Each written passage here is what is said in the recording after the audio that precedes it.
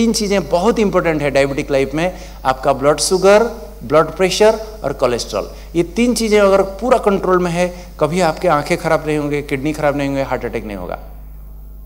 जब हम प्रेशर बहुत ज़्यादा बढ़ जाता है, आँखों के नसें भी फट जाती है, फिर एकदम ब्लीडिंग होकर अंधे हो जाते हैं। तो इसलिए चेक कराना बहुत ज़रूरी है। सेव योर आइज़ इस प्रकार किडनी डायबिटीज़ में हमारे जो किडनी होते हैं ये एक फ़िल्टर की तरह है। हमारे खून को वो फ़िल्टर करके हमारे शरीर की जो गंदगी है, वो निकाल देते हैं। जो आवश्यक चीज़ें हैं, रखा जा रिटेन करके रखते हैं, अनावश्यक चीज़ों को वो किडनी से फ़िल्टर होकर निकल जाते हैं। लेकिन किसी को डायबिटीज़ लंबे समय से है, और ये डायबिटीज़ में किडनी एक फ़िल्टर की तरह है तो लंबे समय से किसी को अगर डायबिटीज़ है तो और साथ साथ हाई ब्लड प्रेशर है तो उसके ऊपर जैसे एक छलनी है, उसके ऊपर खूब प्रेशर दिया जाए। तो उसके जो छेद है बड़ा बड़ा हो जाता है। तो इस प्रकार जब high blood pressure high blood sugar दोनों है तो हमारे किडनी में प्रेशर ज़्यादा होने के कारण हमारे शरीर की जो प्रोटीन्स हैं, जो आवश्यक है, वो भी वहाँ लीक होना शुरू हो जाता है। तो यूरिन जब चेक करते हैं, देखते हैं प्रोटीन उसमें आ रहा है तो फिर धीरे धीरे धीरे धीरे किडनी फेल हो जाता है। फिर डायलिसिस करो किडनी ट्रांसप्लांट करो, लाखों रुपया भी जाता है, जान भी जाता है। तो इसलिए डायबिटिक लाइफ में अपने किडनी भी टेस्ट करना चेक करना बहुत ज़रूरी है। किडनी फ़ंक्शन टेस्ट ठीक है। तो बताया, आपका ब्लड प्रेशर ब्लड शुगर और कोलेस्ट्रॉल ये तीन चीज़ें बहुत इंपॉर्टेंट है। ये कंट्रोल करके रखना ज़रूरी है। साथ साथ कई ऐसी दवाइयाँ हैं जो हमारे किडनी को बर्बाद कर देते हैं, सत्यानाश कर देते हैं। मोस्टली जो पेन किलर्स हैं, हमारी माताएँ, हमारे देश में जरा सा कहीं भी थोड़ा सा पेन हुआ, सीधा दवाई की दुकान में देंगे। चाहे कहेंगे, अरे, ये भोभरन गोली देना तो ये सारा, ये गोली देना तो। कुछ भी गोली लेके खाते रहते हैं। चने जैसा खाते रहते हैं। बिल्कुल नहीं, किडनी खराब हो जाएगा। आपको पेन किलर नहीं लेना है। अगर दर्द है, बहुत कुछ, ज़्यादा से ज़्यादा पैरासीटामोल की गोली लो। क्रोसिन नाम से आता है, सभी को पता है। कालपल क्रोसिन दिन में तीन बार, चार बार भी खा लो, कोई प्रॉब्लम नहीं।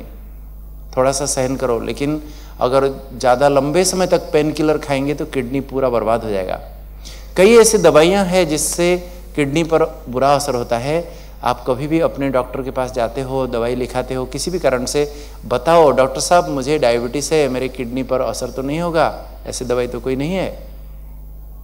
और साथ साथ कभी भी आप अगर यूरिन देखते हो चेक करते हो, साल में एक बार तो कम से कम छः महीने में भी करना चाहिए। आपका किडनी फ़ंक्शन टेस्ट ठीक है, आपका यूरिन ठीक है तो आप अपने खून से यूरिन चेक करके आप जान सकेंगे। कभी भी अगर मान लीजिए आपका यूरिन एकदम डार्क कलर का आ रहा है, जलन हो रहा है पेशाब में, या आपके कमर की तरफ़ से पीछे साइड में दर्द हो रहा है, आपको बुखार हो रहा है, एकदम कंपन होके, ठंडी होके इन्फेक्शन हो सकता है यूरिन इन्फेक्शन होने से होता है तो चेक कराइए, उसका इलाज कराइए। नहीं तो बहुत प्रॉब्लम होगा। ऊपर तक किडनी तक पहुँच गया इन्फेक्शन बहुत डायबिटीज़ में यूरिन का इन्फेक्शन माताओं को बहुत जल्दी हो जाता है। और एक बार इन्फेक्शन होता है तो लंबे समय तक ठीक नहीं होता है। नॉर्मल व्यक्ति अगर पाँच दिन एंटीबायोटिक खा लेता तो ठीक हो जाता है। लेकिन डायबिटिक लाइफ में पाँच दिन नहीं। मैं कहूँगा, दो गुना ज़्यादा समय। दस दिन मिनिमम चौदह दिन तक खाना पड़ता है एंटीबायोटिक तो जाके ठीक होता है। कई लोगों की तो लंबे समय तक ट्रैक्ट इन्फेक्शन ठीक होता है नहीं, सालों तक ठीक नहीं होता है। तो बी केयरफुल चेक कराना ज़रूरी है। और ब्लड प्रेशर में जो मेडिसिन है, नॉर्मल व्यक्ति कोई ब्लड प्रेशर की मेडिसिन खाता है, ब्लड प्रेशर की कई प्रकार की मेडिसिन आते हैं। लेकिन डायबिटिक लाइफ में कुछ ब्लड प्रेशर की मेडिसिन आपको फ़ायदामंद है। अगर वो ब्लड प्रेशर की मेडिसिन खाएँगे तो आपको डायबिटीज़ में भी फ़ायदा होगा। तो इसलिए डॉक्टर साहब को बता के कई ऐसे मेडिसिन है जो सिलेक्टिव है, डायबिटीज़ मरीज़ को लेना चाहिए, जिससे किडनी आपकी आँखें सब प्रोटेक्ट करके रहेंगे। तो डॉक्टर्स को बता के सही मेडिसिन लेना आवश्यक है। कई ऐसे दवाइयाँ हैं, ये सब आप, वास्तव में आप सभी को ये सब याद नहीं रहेगा। आप अपने डॉक्टर को ही हमेशा बताइए कि डॉक्टर साहब, मुझे डायबिटीज़ है, मेरे किडनी पर असर जैसे ना हो, ऐसे कोई दवाई दीजिएगा। क्योंकि बहुत भीड़ भड़ाका में बिज़ी लाइफ में हम सभी जब बहुत पेशेंट आते हैं, हमारे ध्यान आखिर डॉक्टर भी एक मनुष्य होता है। आप मत समझिए कि डॉक्टर है तो एकदम गॉड है। नहीं, हम भी मनुष्य है, हम भी भूल कर सकते हैं ज़िंदगी में। तो इसलिए कभी भी आप आते हो, बिज़ी शेड्यूल में कभी भी हम बाई मिस्टेक भूल हो जाती है, कुछ भी लिख देते हैं, लेकिन आप अगर याद दिलाएँगे तो डेफिनेटली आपको सेफ़ दवाई हम देंगे, ताकि आप सही सलामत रहेंगे। इस प्रकार हमारे मसूढ़े पर दांत पर क्या असर होता है? डायबिटीज़ लाइफ में दांत और मसूढ़े बहुत जल्दी अफेक्टेड होते हैं। एक नॉर्मल व्यक्ति का दांत और मसूड़े ऐसे दिखते हैं, लेकिन अगर लाल लाल हो गया स्पंजी हो गया, जरा सा टच होता है तो ब्लीडिंग होना शुरू हो जाता है, वो इन्फेक्शन की निशानी है। जिंजीवाइटिस है पेरियोडोंटाइटिस हो जाता है, फूल जाता है, बदबू आने लगता है पस निकलने लगता है, और ऐसे पेरियोडोंटाइटिस होकर फिर अंदर डीप तक चला जाता है डीप रूट रूट एप्सेस हो जाता है। सालों तक फिर ठीक करना मुश्किल है। लेकिन विडंबना यही है कि दांत एक इनसेंसिटिव ऑर्गन है। उसमें जब तक एकदम डीप तक कुछ इन्फेक्शन या कुछ प्रॉब्लम नहीं होता है, कुछ पेन नहीं होगा, कुछ तकलीफ़ नहीं होगा। इसलिए लोग केयरलेस रहते हैं। डायबिटीज़ लाइफ में अगर आपके कभी भी दांत में मसूड़ों में इन्फेक्शन है, आपका sugar will never be control never be control इसलिए आपका पहले ये ठीक करना ज़रूरी है। और बहुत जल्दी इन्फेक्शन क्यों होता है?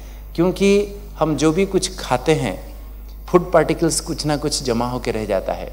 और जर्म्स के लिए बैक्टीरिया के लिए बहुत बढ़िया भोज मिल जाता है। मल्टीप्लाई करते हैं फास्ट इन्फेक्शन हो जाता है बहुत जल्दी। तो आपको कम से कम दिन में दो बार ब्रश करने की आवश्यकता है। रात को सोने से पहले और सवेरे उठते ही। दो बार ब्रश करना ज़रूरी है। जो यहाँ दो बार ब्रश करते हैं, हाथ उठाइए। यस वेरी गुड अपने लिए ताली बजाओ, अपने लिए ताली बजाओ। बहुत अच्छी बात है।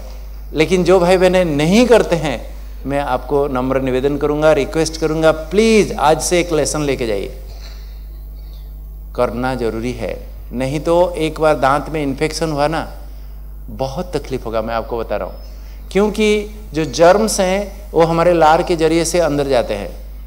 पेट में, हमारे आंतड़ी में, किडनी में, लीवर में, हार्ट में इन्फेक्शन पैदा करेंगे। और बहुत सारे हार्ट अटैक का कारण ये पेरियोडोंटाइटिस है। तो इसलिए बहुत खतरा है, लेकिन होता क्या है, अगर किसी डायबिटीज़ मरीज़ के मुँह में इन्फेक्शन है, पायरिया है, वो खुद को उसको पता नहीं चलता है। उसके सामने वाला व्यक्ति जब बात करता है, खड़ा होकर उसका इतना बदबू आता है, मुँह फट जाता है, पूरा नाक बंद कर देगा और कैसे भागू कहेगा। लेकिन उसको खुद को पता नहीं। जैसे किसी मंदिर में आप जाते हो मंदिर में जो मुखशाला है, पहला ही इतना गंदा, इतना डटी है कि आपको वहाँ खड़े नहीं हो पाते हो। तो आपको कैसा लगेगा? अंदर जाके मूर्ति का दर्शन करेंगे? कहेंगे, छी, ये मुखशाला ही ऐसा है तो अंदर क्या होगा? नहीं जाना है मुझे। इसी प्रकार कोई मरीज़ हमारे पास जब आता है तो उसके मुँह से ही हम परख लेते हैं उसकी स्वास्थ्य की हाल चाल क्या है। मतलब मुँह से ही इतनी बदबू मारता है तो उसका हेल्थ क्या होगा, आप हम समझ जाते हैं। तो आपको हर छः महीने में कुछ प्रॉब्लम हो या ना हो, अपना डेंटल हाइजीन चेक कराना ज़रूरी है। डेंटिस्ट के पास जाके चेक कराओ। कोई बिगिनिंग स्टेज में है तो वो कोई फिलिंग कर देंगे, कुछ कर देंगे। आपको पता नहीं चलता है, कुछ जब टू लेट हो जाता है पेन होना शुरू होता है इट इज़ टू लेट तो हर छः महीने में डेंटिस्ट के पास जाके चेक कराना आवश्यक है। और सबसे बढ़िया गोल्डन प्रिंसिपल है, अगर डेंटल हाइजीन चाहते हो तो कुछ भी खाने के बाद तुरंत ही मुँह कुला कर देना चाहिए। खाने के बाद तुरंत मुँह लियो, अच्छी तरह से कुला करके, रिंज करके मुँह साफ़ कर दो। लेकिन कोई करता नहीं है। क्यों? क्योंकि आफ्टर टेस्ट चाहिए। बहुत बहुत टेस्टी कुछ खा लिया और तुरंत जाके मुँह कुला कर दिया तो गया सब। थोड़े समय तक करते रहेंगे तो थोड़ा सा मज़ा आएगा ना। तुरंत मुँह धो लिया तो गया। लेकिन नहीं, करना है। तो जाके डेंटल हाइजीन ठीक रहेगा। रात को तो खाने के बाद ज़रूर ब्रश करना है क्योंकि जो फ़ूड पार्टिकल्स थोड़ा भी अंदर रह जाता है रात भर जब सोते हो कितने घंटे तक बिल्कुल जर्म्स के लिए मौका मिलता है प्रोलिफरेट होने के लिए मल्टीप्लाई होने के लिए। तो सोने से पहले ज़रूर ब्रश करना। लेकिन ब्रश लोग यूँ यूँ यूँ कर देंगे हाँ, तो एक मिनट भी नहीं। ऐसा नहीं। आप किसी डेंटिस्ट के पास जाके पूछिए ब्रश कैसे करना होता है। सही तरीका बताएँगे। आपका फ्रंट सरफेस को ऐसे ऐसे ऐसे ऐसे अच्छी तरह से साफ़ करना है। अंदर का सरफेस ऐसे, अंदर का ऐसा, ये पूरा अंदर का ऐसा, अच्छी तरह से हर सरफेस को साफ़ करने की आवश्यकता है। जैसे मान लीजिए, ये हमारा दांत है। मान लीजिए जो ऐसे, ये एक दांत, ये एक दांत, ये एक दांत, ऐसे। मैं ऐसे ऐसे ऐसे ऐसे रगड़ता रहूँगा तो ये बीच का कैसे साफ़ होगा? कभी साफ़ नहीं होगा। इसको ऊपर नीचे साफ़ करना पड़ेगा ऐसा, ऊपर नीचे। तो ही जाके ये साफ़ होगा। तो इसलिए आपको डेंटिस्ट बताएँगे, सही तरीका ब्रश करने का विधि क्या है? मैक्सिमम भाई बहनों को आता नहीं। कई लोग तो दांतुन करते हैं। कह दंत मंजन करते हैं दंत मंजन साफ़ हो जाएगा। ऐसे ऐसे करने से कैसे होगा? होगा ही नहीं। तो डेंटल हाइजीन से हम समझ जाते हैं इनका स्वास्थ्य की हलचल क्या है। तो दांत बहुत इंपॉर्टेंट है। अगर नहीं तो फंगल इन्फेक्शन हो जाता है, अंदर जाता है, आंतड़ी में सालों तक ठीक नहीं होता है। ऐसे हालत हो जाती है लोगों की। इस प्रकार जब हमारे ब्रेन में नसें ब्लॉक हो जाती है, देखिए, क्या होता है? ब्रेन अटैक, स्ट्रोक हो जाता है, पैरालिसिस हो जाता है। हार्ट की नसें ब्लॉक हो जाती है, ऊपर देखिए, हार्ट अटैक हो जाता है। जो आप मक्खन, बटर खाते हो ना, वो सब जमता है उधर जाके। नस में ब्लॉक हो जाता है। तो इसलिए आपका ब्लड प्रेशर, ब्लड शुगर, आपके कोलेस्ट्रॉल, ये सब पूरा कंट्रोल होना चाहिए। जो स्मोकिंग करते हैं टबाको लेते हैं be careful hundred percent death होगा, मैं बता रहा हूँ. Hundred percent death heart attack होके. डायबिटिक लाइफ में तो ये सब छूना ही नहीं है. बहुत डेंजरस है और रेगुलर एक्सरसाइज करने की आवश्यकता है खान पान संतुलन रखने की आवश्यकता है. आपको एक, इस चित्र से आपको क्लियर समझा रहा हूँ, देखिए. हार्ट के कई प्रकार के नसें हैं. ये साइड में राइट कोरोनरी आर्टरी लिखा है, देखिए. राइट साइड का नस है राइट हार्ट का ही नस है। इसमें मान लीजिए ब्लॉक हो गया, इस एरिया में ब्लॉक हो गया तो क्या होगा? क्या होगा? अगर नस अधूरा ब्लॉक है पार्शियल ब्लॉक है 70 परसेंट से ज़्यादा ब्लॉक है तो चेस्ट पेन होता है। एक नॉर्मल व्यक्ति को चेस्ट पेन होता है तो समझ आता है मुझे हार्ट में प्रॉब्लम है। लेकिन अनफॉर्चुनेटली डायबिटीज़ पेशेंट को मैक्सिमम लोगों को कुछ पेन नहीं होता है, कुछ पेन नहीं होता है। इसलिए लापरवाही और एक दिन सडन कोलाप्स। सीधा। तो इसलिए जब ब्लॉक होता है, अगर पार्शियल ब्लॉक है तो चेस्ट पेन हो सकता है कईयों को। लेकिन जब फुल ब्लॉक हो जाता है, देखिए, एकदम ब्लॉक हो गया तो ये एरिया काला हो गया, देखिए, नीचे हार्ट का राइट साइड में काला हो गया, सड़ जाता है बिल्कुल, एकदम। उसको हम मायोकार्डियल इन्फेक्शन कहते हैं हार्ट अटैक कहते हैं आदमी मर जाता है। मेजोरिटी लोग मर जाते हैं। तुरंत डायग्नोसिस हुआ, जाके बाईपास सर्जरी किया, कुछ किया तो तुरंत बच सकता है, नहीं तो मेजोरिटी मर जाते हैं। तो जो हम भी मक्खन बटर जो खाते हैं, मैं क्यों मना कर रहा हूँ ये सब चीज़ें? आप कहेंगे, कहाँ से डॉक्टर साहब आए? ये सब कह रहे हैं, हमारे दादे, परदादे, नाना, नानी तो इतने इतने खाते थे, मक्खन, घी डेली खाते थे, कुछ नहीं होता था। हमको मना कर रहे हम तो देसी घी खाते हैं, देसी घी। अरे घी देसी हो या विदेशी हो? घी तो घी है। आप कहेंगे विदेशी आग लेके आया हूँ, नहीं जलेगा मेरा कुछ। देसी आग से जलता है और विदेशी आग से नहीं जलता ऐसा कुछ होता है क्या? तो आपके दादे, परदादे खाते थे, क्यों हजम करते थे? क्यों? इतना मेहनत करते थे, भागते थे, दौड़ते थे, खेती बाड़ी करते थे, सब कुछ करते थे, धूप में जाते थे, पिघल जाता था। आप तो घर से निकलेंगे नहीं एयर कंडीशन चाहिए सब, कार में भी मोटर में भी सब चारों तरफ़, कैसे पिघलेगा? मेहनत करेंगे, खाओ, मना नहीं। लेकिन मेहनत भी नहीं करना है, खाते रहना है। जो एटमोसफेयर के एयर में जम जाएगा, अंदर भी जाके जम जाएगा ब्लॉक हो जाएगा सारा। बी केयरफुल ये सब कम खाना चाहिए। कितना खाना चाहिए मैं आपको बताऊँगा। इस प्रकार फुट अल्सर जिसको न्यूरोपैथी हो जाती है, पाँव में चलते चलते देखना एकदम पाँव सुन्न हो जाएगा। तो ऐसे घाव हो जाता है एक बार तो सालों तक ठीक नहीं होता है, क्योंकि सारे बॉडी का वेट ट्रांसमिट हो रहा है। कैसे ठीक होगा? उसके ऊपर प्रेशर है। इस प्रकार देखिए, ऐसे ब्लड वेसल ब्लॉक हो जाता है तो पूरा उंगली देखो काला हो गया, काटना पड़ता है कैंग्रीन हो जाता है डिफॉर्मिटीज हो जाती है ऐसे देखिए डिफॉर्मिटीज हो जाती है कैलोसिटीज हो जाती है। तो ये सब न्यूरोपैथी के फीचर्स हैं भास्कुलोपैथी के फीचर्स हैं। तो पाँव में ऐसा एक अल्सर हो जाता है तो जो मोटे हैं देख भी नहीं पाते हैं क्या होता है। तो इसलिए एक मिरर लेके देखना चाहिए मेरे पैर पैर के नीचे, पाँव, ठीक है? इस प्रकार ऐसे गांठे हो जाती है टाइट शूज़ पहनने से कैलोसिटीज हो जाती है और इस प्रकार मैं बताया हड्डियाँ बिल्कुल चुरचुर हो जाती है, सार्कोट आर्थ्रोपैथी अभी अभी पीजीआई चंडीगढ़ से चंडीगढ़ से एक पेशेंट आए थे डॉक्टर एक हैं। उनके ऐसे पाँव में ऐसा हड्डी पूरा चुरचुर होकर सार्कोट आर्थ्रोपैथी हो गया था। और सेंसेशन बिल्कुल नहीं दोनों पाँव में। ऐसे हालत बात मत पूछिए, एक डॉक्टर होके भी। कहने का मतलब है कि अगर हम ध्यान नहीं रखते हैं, बहुत खतरा है ये बीमारी, बहुत खतरा है। डॉक्टर हो या कोई हो, किसको भी नहीं छोड़ेगी। तो कहने का मतलब है, देखिए, हमारे पैरों में एक खून सप्लाई करने वाली नली होती है, जिसको हम नस कहते हैं। दूसरा होता है, जो हमारे सेंसेशन कैरी करने वाले नर्व होते हैं। ये सफ़ेद सफ़ेद वाला नर्व है वो जो रेड कलर वाला, वो खून की नलियाँ है। जो ये खून की नलियाँ जब ब्लॉक हो जाती है, उसको हम कहते हैं भास्कुलोपैथी पेरिफेरल भास्कुलर डिज़ीज़ ऊपर दिखा रहे हैं और नीचे जो सफ़ेद सफ़ेद नस है, वो जब ब्लॉक हो जाती है न्यूरोपैथी कहते हैं। उसमें खून की सप्लाई कम हो जाती है तो ठीक से काम करना नहीं, छोड़ देते हैं तो उसको न्यूरोपैथी कहते हैं। जब न्यूरोपैथी हो जाती है, देखिए पाँव में कैसे ऐसे घाव हो जाता है सेंसेशन नहीं रहता है, चलते समय उसमें इंजुरी हो गई, कुछ हो गया, खिल भी घुस गई, पता ही नहीं चलेगा। तो इसको न्यूरोपैथी हम कहते हैं, अल्सर हो जाता है, सालों तक ठीक नहीं होता है। लेकिन अगर ऊपर ऐसे नस ब्लॉक हो गए, जो खून की नलियाँ अगर ब्लॉक हो गई तो देखो ऐसे काला काला होकर सड़ जाता है, बिल्कुल बिल्कुल, गैंग्रीन हो जाता है, फिर काटना पड़ता है पाँव। एक नॉर्मल व्यक्ति देखिए, नॉर्मल व्यक्ति का ऐसे नसें जो होती हैं, पूरा एकदम क्लीन है, उसमें खून की सप्लाई देखो कितना क्लियर है।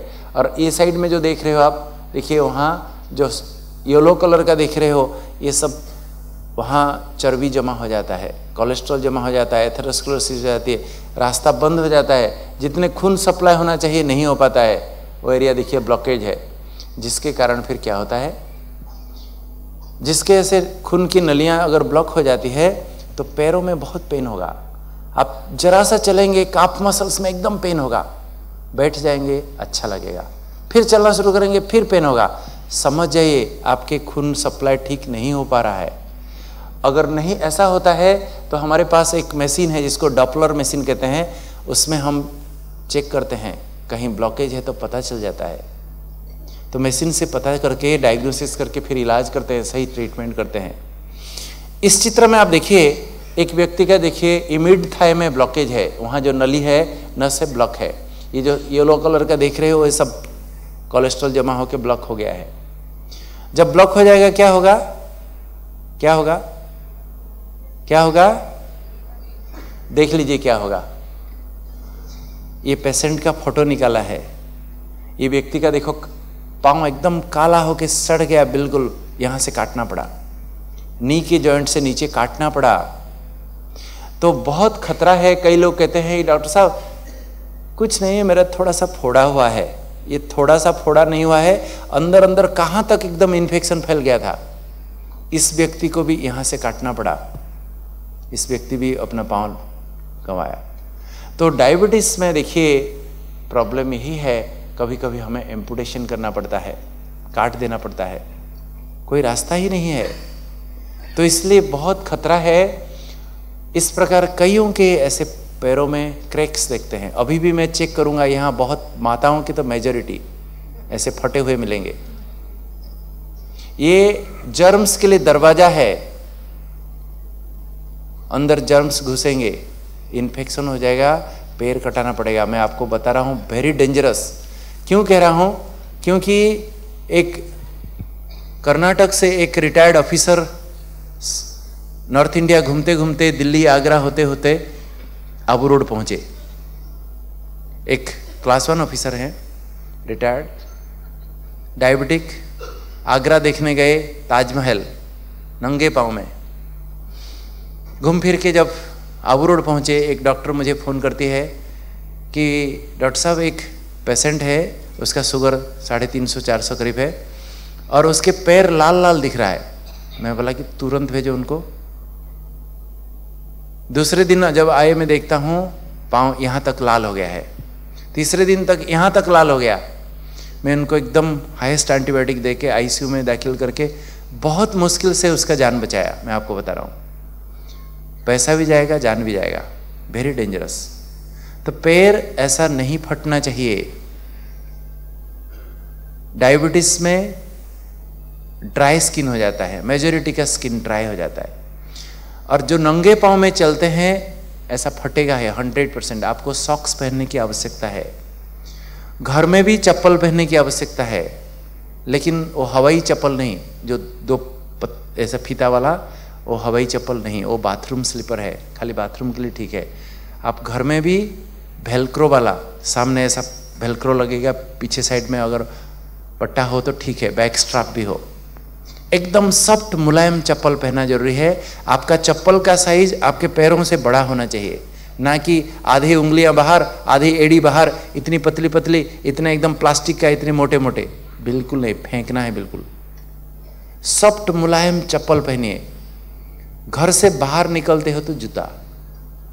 घर से बाहर निकलते ही जूता पहनना है और जूता बताया, आजकल कैनवास मिलता है माताओं के लिए, लेस अगर बांधना नहीं आता है तो कोई बात नहीं। लेकिन हाफ़ शूज़ भी बहुत अच्छा कंफर्टेबल वाला मिलता है कैनवास का, लीजिए। लेकिन बाहर निकलते हो तो जूता पहनना है, आपको पाँव ठीक रहेंगे, सही सलामत। अगर स्पोर्ट शूज़ पहनते हो तो बहुत अच्छा बहुत अच्छा स्पोर्ट शूज़ पहनना चाहिए। और आपके सॉक्स हमेशा लाइट कलर का होना चाहिए। लाइट कलर लाइट कलर के सॉक्स पहनेंगे तो कहीं भी पाँव में कुछ होता है तो उसमें स्ट्रेन होगा, कुछ होगा तो देख पाएँगे। लेकिन बहुत मरीज़ होते हैं, मुझे कहते हैं, डॉक्टर साहब गंदा हो जाता है ना, इसलिए हम काले मोजे पहनते हैं डार्क कलर का पहनते हैं। डार्क कलर वाला गंदा नहीं होता है? नहीं होता है गंदा? होता है? नहीं होता है। होता है? होता क्यों नहीं है? दिखता नहीं है। मैं देखा हूँ प्रैक्टिकली इसलिए बता रहा हूँ, कई ऐसे लोग हैं मुजा को सीधा पहनेंगे सात दिन, फिर उसको उल्टा करके सात दिन पहनते हैं। और जैसे उनका जूता खुलेंगे ना, वहाँ मनुष्य तो क्या कुत्ता भी होगा तो भाग जाएगा वहाँ से।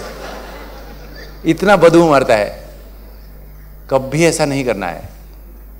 आपका सॉक्स डेली धोने की आवश्यकता है डेली धोना है। और सफ़ेद कलर इसलिए कह रहा हूँ कि आपके पाँव में कहीं खरोच है, कुछ है, कुछ तो स्टेन होगा तो पता चलेगा आपको। और कॉटन का सॉक्स पहनिए, बहुत टाइट एकदम बिल्कुल, एकदम निशान हो जाए, ऐसा नहीं सॉफ्ट कॉटन सॉक्स पहनिए। और जूता भी कंफर्टेबल होना चाहिए, जूता पहनने से पहले हाथ अंदर डालिए, देखिए वहाँ कंकड़ पत्थर तो नहीं है, घर में लोग बच्चे कुछ भी डाल देंगे, नहीं। और पैर के चेक कीजिए, ऐसा अगर फटा हुआ है तो आजकल कई प्रकार के आते हैं, वो स्क्रबर आते हैं, एमरी पत्थर भी आता है, वो आपको घिस के साफ़ करना है। पानी में थोड़े समय तक गिला करेंगे, सॉफ्ट हो जाएगा। अच्छी तरह से घिसाई करके, जो कपड़े ये करते ना, घिसाई करके साफ़ करो। और पेट्रोलियम जेली बाज़ार में मिलता है, आपको भी मेडिसिन स्टोर में भी मिलेगा। कभी कभी हार्डवेयर स्टोर में भी रखते हैं, केन आता है। बहुत सस्ता है, वो भैसलिन ही है। उसमें खाली खुशबू नहीं है। ये सारे बाहर से जो भैसलिन नाम से मिलता है, उसमें थोड़ा सा खुशबू डाल देते हैं और आपसे दस गुना रेट ले लेते हैं। पेट्रोलियम जेली आता है। डेली रात को सोने से पहले अच्छी तरह से पाँव में पूरा मालिश करके लगाइए। सोइए। सवेरे नहाने के बाद भी ज़्यादा फटा है तो सवेरे नहाने के बाद भी लगाइए। सारे जिसका पूरा ड्राई स्किन है होल बॉडी में भी मसाज कर सकते हो। बहुत अच्छा है। एकदम सॉफ्ट हो जाएगा आपका स्किन देखना। बहुत अच्छा लगेगा। होल बॉडी में भी मसाज कर सकते हो, कोई बदबू नहीं, कुछ नहीं। कई लोग मुझे कहते हैं, डॉक्टर साहब, क्या तेल लगाने से नहीं चलेगा? नारियल तेल कि सरसों का तेल, तिल का तेल लगाते हैं लोग। मैं कहता हूँ, लगाओ भले, वो भी अच्छा है, लेकिन एक बात याद रखना, हमारे भारतवर्ष में चूहों का कोई कमी नहीं है। आप अगर रात को सोए हो, नारियल तेल लगा के, मूंगफली का तेल लगा के उस खुशबू लेके चूहा आएगा रात को। और आके रात को एक उंगली खा के चला जाएगा। सवेरे देखेंगे तो लाल लाल लाल लाल पूरा खून में। बी केयरफुल इसलिए नहीं, मैं मना करता हूँ, तेल फेल नहीं लगाना है। पेट्रोलियम जेली रखो लगाओ अच्छी तरह से। ठीक हो जाएगा, साफ़ हो जाएगा। फटना नहीं चाहिए एडी। जो नंगे पाँव में चलते हैं, उनका फटेगा ज़रूर। फटेगा, पक्का। अभी भी नहीं, आप खुद चेक कीजिए, देखिए। अपने पाँव। और साथ में ऐसे गांठे भी नहीं होनी चाहिए, जो पालती मार के लंबे समय तक बैठते हैं, नीचे कुछ कुशन की कुछ ऐसा सॉफ्ट कुछ नहीं रखते हैं। सेठ लोग अक्सर करके दुकान में जो बैठते हैं, लंबे समय तक सारे शरीर का प्रेशर देके ऐसे गांठे हो जाते हैं। और डायबिटीज़ पेशेंट को ऐसे गांठे हो गई तो अंदर अल्सर हो जाता है इन्फेक्शन हो जाता है, फिर सड़ जाता है। देखो, ये उंगली कैसे हो गया है? काला काला फिर सड़ जाता है, काटना पड़ता है उंगली। वेरी डेंजरस आपके ऐसे गांठे हैं कैलोसिटीज है तो उसको डिब्राइड करना पड़ता है। आप कभी भी कॉर्न कैप नहीं लगाना वेरी डेंजरस आपको बहुत लोग एडवाइस देंगे कॉर्न कैप लगा दो। बिल्कुल नहीं। उसमें सेलिसिलिक एसिड है। चर लेगा स्किन को ऑल्सर हो जाएगा, भरेगा नहीं, बहुत डेंजरस कुछ भी कर नहीं बैठिए, आप खुद कर बैठेंगे प्रॉब्लम होगा। नहीं करना है डिब्राइड करना पड़ता है। ये स्प्रेडिंग सेलुलाइटिस है। देखो कहाँ कहाँ तक पूरा कैसा हो जाता है? चमड़ी सड़ जाती है, बिल्कुल एकदम ऐसा हालत हो जाता है कि बात मत पूछिए। लाखों रुपया का हायर एंटीबायोटिक देने के बाद भी बचा नहीं सकते हैं डेथ हो जाता है लोगों का। ये चित्र में आप क्या देख रहे हो? इस फ़ोटो में क्या देख रहे हो? क्या देख रहे हो? एक आदमी देखिए, बुढ़ा बाबा क्या करा रहा है? उसके पैरों का चेकिंग करा रहा है। काला काला हो गया है और एक भाई उसका फुट केयर कर रहा है। उसको पोडिट्रिशियन कहते हैं। फुट केयर कर रहा है। ठीक है ना नहीं? लेकिन वो दूसरा पैर देख रहे हैं? देख रहे हैं? वो नी की जॉइंट के नीचे क्या है वो? ऑलरेडी कट चुका है। आर्टिफिशियल जयपुर फुट लगा हुआ है। डायबिटीज़ मरीज़ किसी ना किसी कारण से, गलती से अगर कहीं एक पैर कट गया बी केयरफुल दूसरे पाँव कटने के लिए कोई देर नहीं लगती है। दो तीन साल में कटेगा ही हंड्रेड परसेंट कटेगा ही। Very dangerous save your limbs नहीं तो सारा ज़िंदगी भर ऐसे व्हील चेयर में बिताना पड़ेगा दोस्तों। बहुत डेंजरस मैं जब देखता हूँ, बहुत दुख लगता है। छोटी सी गलती के कारण, छोटी सी गलती में आप हूँ कितने लोग ऐसे पाँव गवाते हैं। वेरी डेंजरस आप अपने में कहूँगा, आप जितने बार अपना फेस देखते हो मिरर में, उसका दस गुना अपना पैर का देखो, पैर देखो। आपके पैर तो गुरुओं के चरण जैसा होना चाहिए। जैसे गुरुओं का चरण लोग धुलाई करके पानी पी जाते हैं, आपका पैर को कोई धुलाई करके पी जाए। इतना साफ़ सुथरा होना चाहिए, इतना अच्छा होना चाहिए पैर। आपके नाखून भी कैसे काटना है, क्या काटना है? नाखून कभी भी अंदर तक नहीं काटना है, सीधा काटना होता है। थोड़ा सा बड़ा रहे तो चलेगा, साइड में आपको फ़ाइल कर दीजिएगा, घिस दीजिए, लेकिन अंदर तक कभी नहीं काटना है। नाखून काटते समय कहीं भी चोट लग गया, कुछ हो गया, इन्फेक्शन हो गया, बहुत डेंजरस है।